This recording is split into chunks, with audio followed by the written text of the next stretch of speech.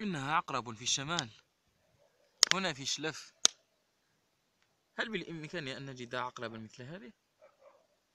لا أدري. سبحان الله. بعدها سبحان الله.